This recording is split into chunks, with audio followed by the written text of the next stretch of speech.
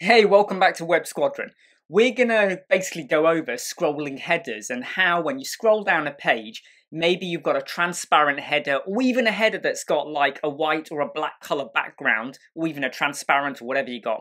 Um, and when you scroll down, you want it to change color. You want the logo to change, you want the text to change, the menu colors to change. You want it to change color because if you keep it as the original with transparent or a certain color, it doesn't really work for the rest of your page. So if we're looking at this example page here, where we've got a header at the top with a logo and menu and social sharing icons, look, as I scroll up and down, it's you know, it, it, it, it kind of gets a bit messy and muddy when you get to this point here, like that.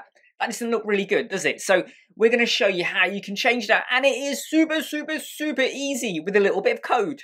So we're in the edit with Elementor part of the page, and as you can see here, we have, uh, by the way, I'm doing this header on the page. Normally, if you were going to do this in, as a header, you would do it in the template section, but I'm only doing it here so I can very quickly just show you what's going on.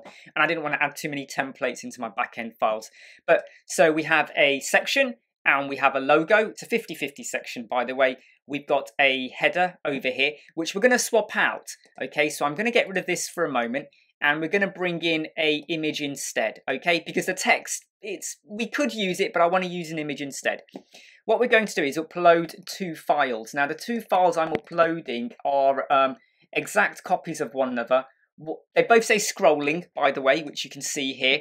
One is black text, one is white text. So what we're going to do is bring forward the white text one at the moment like so. Okay, and we're just going to put it as a left like that. Don't worry about the styling of that, okay? Don't go, oh my god, that's too bold. I'm, I'm only doing this video so you get an idea for kind of what I'm doing. You know, I, am not asking you to critique um, the logo or anything whatsoever, okay? So don't worry about that. We have a logo. On the right-hand side, we have another column and we have the navigation menu, which is white, and we have the social sharing icons, just three of them at the moment at the top. Okay, cool. Now, here's the key bit, okay? When we scroll down, okay, I want the back of that to become white, all of it to become white, okay? And I want the scrolling logo to go from the white logo to switch to the black font or the black logo. And I want all of these icons here as well and the navigation menu to switch to be black as well. I don't mind it being white there, but then I want it to switch to be a white background with black text, okay? You would obviously pick your own colour, but I hope you get the idea. Now, on this image, okay, we need to give it a class name. So we're going to call it original hyphen logo. You can think of more creative names if you want. Let me just make sure I write the right original logo. Okay, this is just me using the words I use. I'm going to call that original logo. Okay, and I'm going to click update. What I'm then going to do is just make a duplicate. So there is now another version directly below or above, however you want to look at it. I'm going to go to the one above just for this. No, no, I won't. I'll go to the one below. And I'm going to change this one now to be called, um, I need to check what I called it now. I called it scroll logo. Of course. Scroll logo. There we go. Scroll logo. Okay. And I'm to swap this image out to be the black one. So let's just do that. There we go. Okay. So we've got the white one and we've got the black one. Now at the moment, they're both visible. And it looks very, very messy, doesn't it? Okay, cool. Now then, um, we're now going to add in a bit of CSS coding, which is now going to basically take over and manage the whole scroll effect and the changing of the background and the changing of the colors and all of these items. Here's the code I want to share with you. Okay, so here it is, and we'll just make it a bit bigger, bold like that. Okay, and this code will be available in the description or the probably what description will be in the comments section. I'm just going to copy all of this. Okay, like uh, yeah, like so, like that. Okay, I also have to make sure what I'm doing here. I'm just going to go back over to my section, which is there. I'm going to go to advanced, I'm going to go to custom CSS, and I'm going to paste that code in. Now, instantly, the black text has disappeared. And what I'm now going to do is just on this image is just make sure this section is, uh, it's on middle, let me just get rid of the zero over here. There we go. There you go. It's just in line. Um, cool, right. So as soon as we added in that code, and I am going to add it in again, so we're on the section, okay. The white logo we called original hyphen logo. The black logo we called scroll hyphen logo. And in the section, in the advanced custom CSS tab, we added in this code, like so. Okay, so what's this code doing over here? It's basically saying that when you scroll a certain amount or whatever, the background is going to go a white color. Okay, so this entire background is going to go an entire white color. It's not, there you go. It's kind of doing it now. And the reason it's doing it after I scroll a little bit, because I've already got the effects onset, I should have taken it off and I'll show you what I mean. So when you scroll a little bit, can you see what's going on here? As we scroll, the background goes white and the logo switches from the white logo to the black logo. Look at that, just switches like that.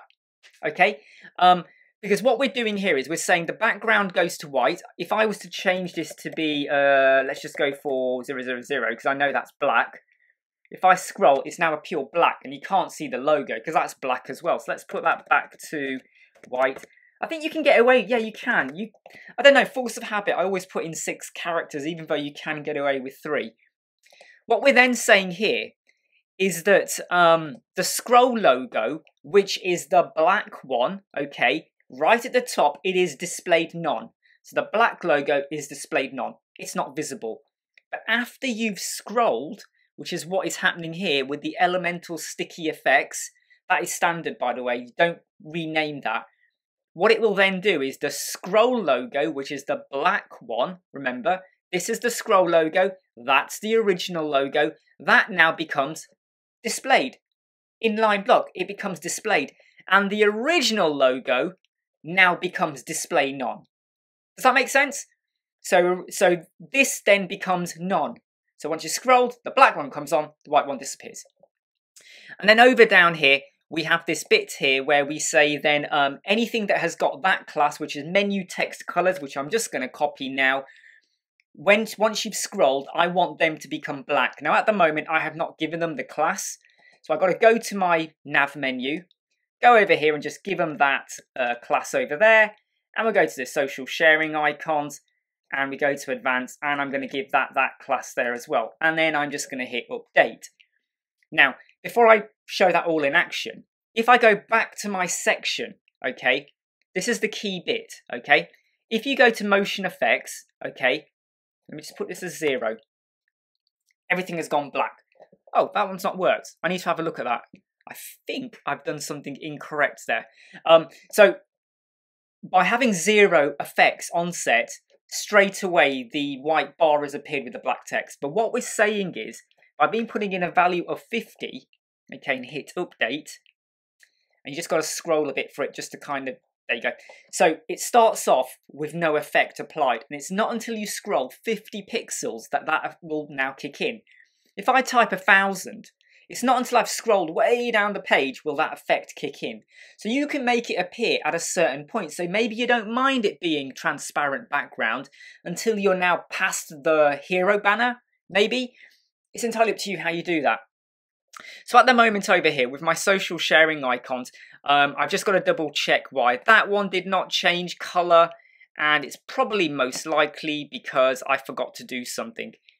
In fact, what you could do is so one of the tricks I do do is if I click on the social sharing icon, I will instead call that one original.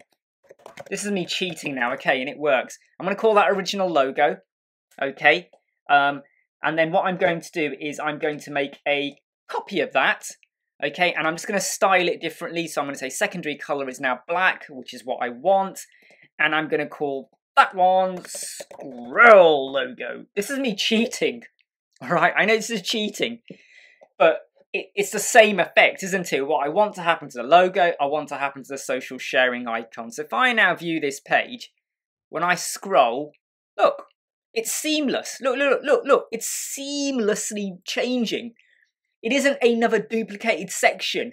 Sometimes you have some scroll effects. When you scroll, the first header disappears and then the next header comes in like it gradually fades um slides downwards And people go, yeah, that's really cool. I don't like that. I find it's a bit like, no, I can see what you've kind of done there. You got rid of one and then made another appear. Whereas here, it is just a seamless effect.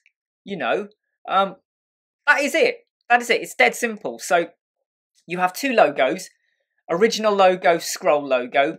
Uh, for the social sharing icons, I did original logos, um, scroll logo, but they're actually social sharing icons.